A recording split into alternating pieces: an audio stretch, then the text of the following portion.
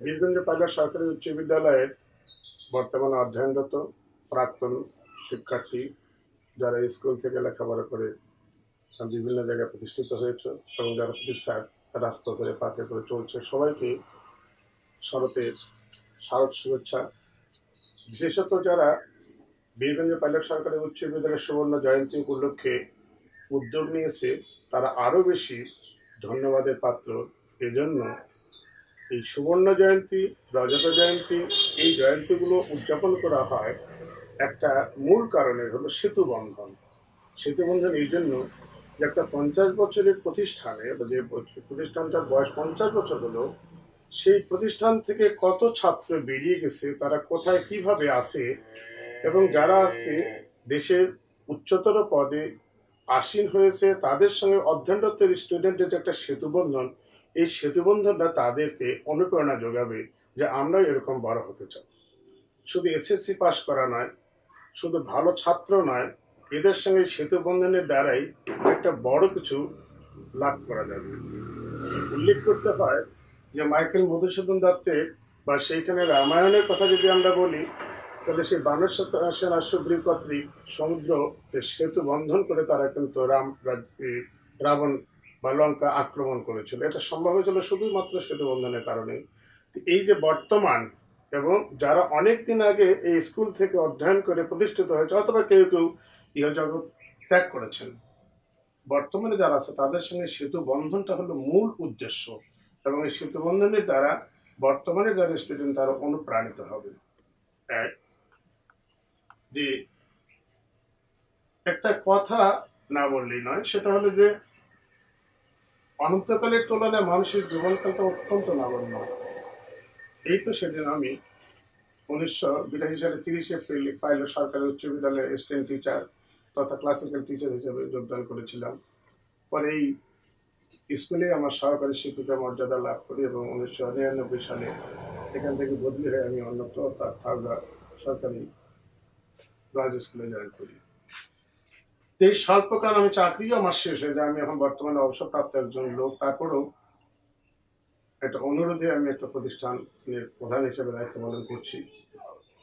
এই অল্প সময়ের মধ্যে আমি লেখাপড়া করলাম, আমি শিক্ষকতা করলাম, চাকরি শেষ করলাম। এই সময়টুকু আমার কাছে খুব নগণ্য।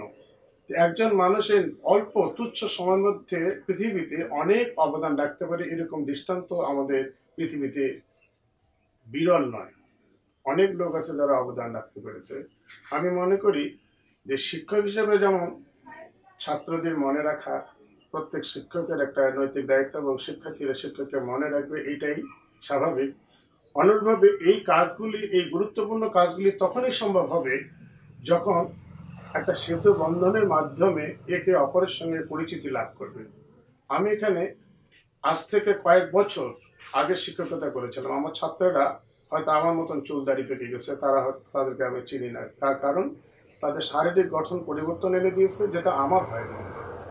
এই ছাত্রদেরকে আমি সেদিন চিনব যখন এই সেতুবন্ধনের মেলা অনুষ্ঠিত হবে, সেদিন পরিচয় হচ্ছে।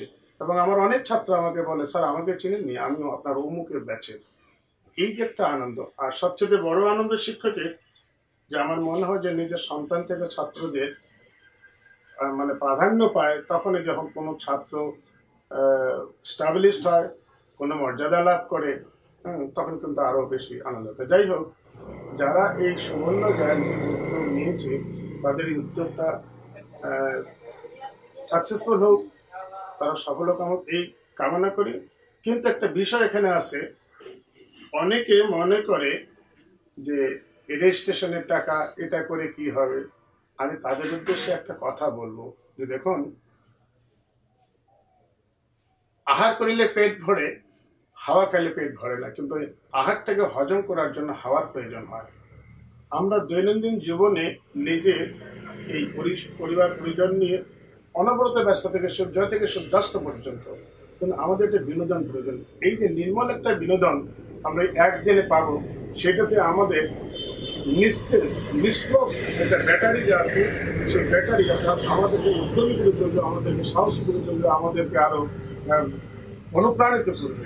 এটি হলো সুবর্ণ জয়ন্তী বা রজত জয়ন্তী, এইসব জয়ন্তীগুলি উৎসব এখানে একটা মিলন মেলা চলবে সুতরাং আমি মনে করব যে তোমরা তোমরা বলতে আজকে স্টুডেন্টরা আপনারা যারা এখানে অতীতে এই বিদ্যালয় থেকে পাশ করে আজকে বৃদ্ধ হয়েছেন তাদের আমি সবাইকে অনুরোধ করব যে আসুন এই কয়েকটা টাকার বিনিময়ে আমরা একটা মিলন মেলার অংশীদার হই।